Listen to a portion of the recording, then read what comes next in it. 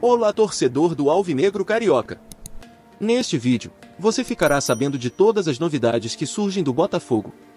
Mas antes disso, deixe seu like e vamos para a notícia. Uma notícia que está preocupando a torcida do Glorioso.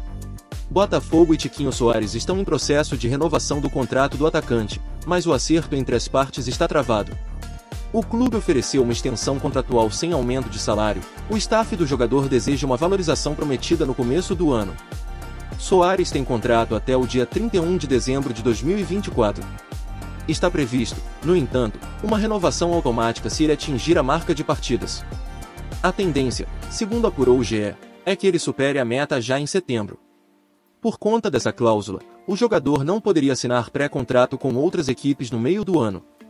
Mesmo com a garantia, a negociação entre as partes começou em janeiro, após o Botafogo recusar uma proposta pelo camisa 9. A proposta de extensão sem aumento de salário foi recusada pelos empresários do jogador. O desejo é de um aumento de 25% ou luvas que compensem esse montante. Tiquinho Soares chegou ao Botafogo em 2022 e foi pilar da reconstrução iniciada com a aquisição da SAF pelo americano John Testor. Com a camisa alvinegra são 87 jogos, 41 gols e 14 assistências.